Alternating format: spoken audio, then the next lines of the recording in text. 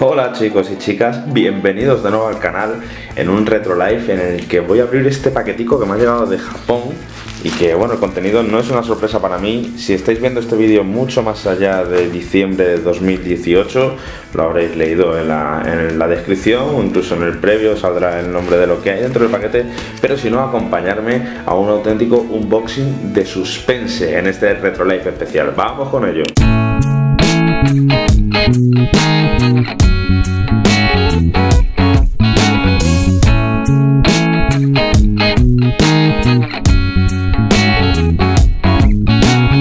Un paquete llegado de la región de Niigata, que la verdad que desconozco por completo. Y como podréis ver, eh, tengo aquí decorando la mesa un par de ítems bastante característicos, dos de mis juegos favoritos de la saga Resident Evil.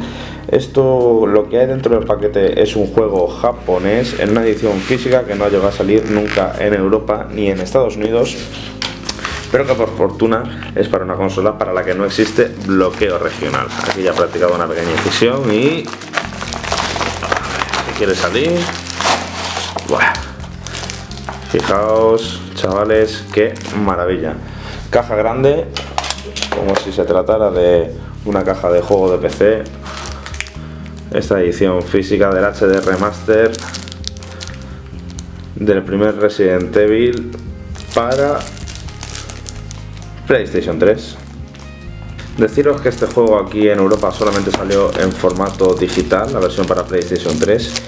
Sí que hay una versión física para PlayStation 4 con el 0 y el 1, pero el 1 suelto para, y para PlayStation 3 no hay ninguna edición. Además, esto es una edición especial. En Japón había tres ediciones, solamente el juego, el juego con una serie de ítems que vienen aquí y el juego así, empaquetado además con un cuaderno y una agenda. Eh, la verdad es que está nuevo, está de segunda mano. En teoría de segunda mano, aunque el vendedor está comprado a través de eBay, tenía 10 productos de estos. Sí que vi las fotos que tenía un par de arrugaditos en la cajita, pero qué bueno. No soy eh, especial coleccionista ni fanático de este tipo de ediciones especiales, pero es que sabéis lo que pasa, que quería el juego en edición física y viendo los precios estaba muy bien de precio esta edición, la encargué hace unos meses, ha tardado en llegar bastante. Envío gratuito desde Japón por 24 dólares. Actualmente ha subido algo de precio la edición esta.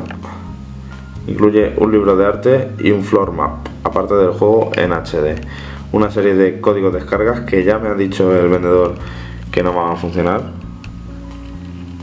y la gloria de este remake en HD portado para consolas de actual generación y para la anterior, para la PlayStation 3. Este juego en su momento fue toda una killer app para Nintendo GameCube. Para mí fue la razón que me empujó definitivamente a elegir GameCube sobre otras consolas. La saga Resident Evil, el, este remake del 1 el 0 y la promesa de que el 4 iba a ser exclusivo.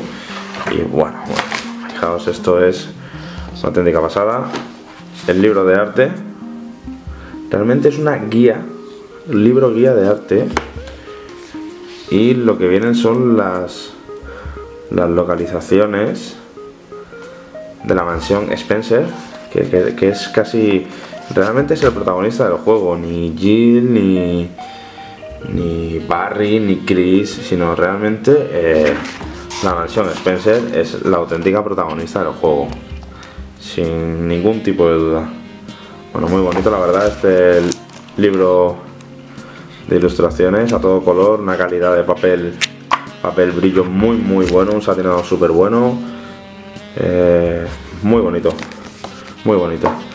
Esto, chavales, esto es la joya de la corona es el mapa tal y como te lo encuentras en el juego, el mapa de la mansión. Bueno, vamos a hacer esto como Dios manda porque esto merece, merece unos planos detalles. es una auténtica pasada. Ah, está impreso en un material casi plástico, está como plastificado. He tenido que sacar la cámara del trípode, perdonar si tiembla un poco la imagen, porque es que el mapa, mirar, ocupa casi toda la mesa. Es una auténtica maravilla, es una preciosidad. Bueno, bueno, bueno. Es que es igual que el que ves en el juego, con las anotaciones, cuando lo vas rellenando, que la puerta es cerrada, que se necesitan la llave de no sé qué.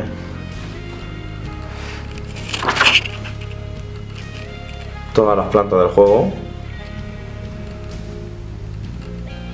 Mansion Spencer. Escrito a mano, muy chulo. Y por detrás, que esto es un punto que me moló muchísimo. Que es igual que el juego cuando le das la vuelta y viene la, la anotación, la primera vez que encuentras el mapa y tal, es que es una auténtica pasada. Esto es un detalle que no lo vas a usar para jugar, pero es un detalle precioso. Y por último, el juego en formato físico, que es que es, muy importante porque yo he de reconocer que lo tengo comprado en formato digital para PlayStation 3, en una oferta que lo vi por 3-4 euros y lo compré. Pero es que, eh, lo que decimos siempre, ¿no? La edición física de los juegos podría estar un poco más cuidada. Aunque en este caso lo que importa es el contenido, un pequeño manual rápido de ayuda, aunque está en japonés. Código de descargas que ya me ha avisado el vendedor que no va a funcionar, que están o utilizados o bloqueados por región. Y el juego que es un Blu-ray, sí, es un Blu-ray. Y bueno, tenéis que saber que casi todos los juegos de PlayStation 3, aparte de ser multiregión, en el momento que se fabrican en el país de origen donde se fabriquen, se incluyen todos los idiomas. Habitualmente, no siempre, evidentemente hay excepciones con juegos que no han salido del territorio de donde uno lo está comprando. Pero este juego que salió en todo el mundo, ahora al poner este disco en mi PlayStation 3 española, sin modificar, me aparecerá el juego en castellano. A lo sumo en inglés, pero casi seguro en castellano. Vamos a probarlo. Bueno, pues para que veáis que no hay ni trampa ni cartón, eh, voy a enchufar el, el disco PlayStation 3 original. Vale, corriente. A ver si sale. Aquí está. Biohazard HD Remaster. Con el título, nada de Resident Evil. La típica intro. El vídeo en FMV no le han cambiado de resolución. Biohazard pero ponía Pulsastar. Cargando. Todo en castellano.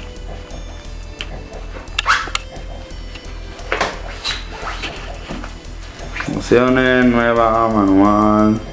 Bueno, como si fuera el, digital, el manual y todo. Supongo vendrá el audio por defecto en inglés. Ah, mira, pantalla original ancha, controles, subtítulos sí, y demás las voces en inglés o en japonés. O en japonés. la elección de dificultad de Resident Evil, muy inspirada en, títulos como Doom o Wolfenstein 3D.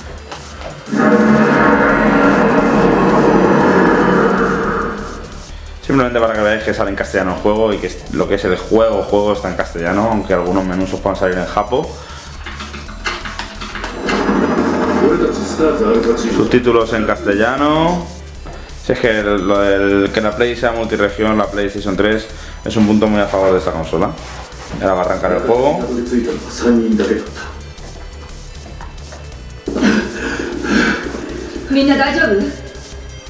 Qué bueno con las voces en inglés, en japonés.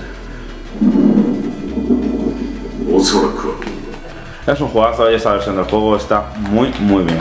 A ver si puedo explorar un poquito.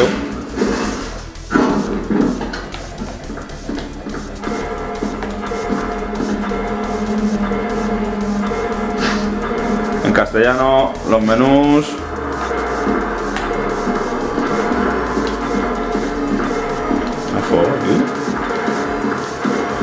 funciona el analógico, ¿no? Despacito anda, si corre, sí, sí, sí. Pues nada chicos, aquí Resident Evil 1 HD Remaster en perfectísimo castellano Biohazard.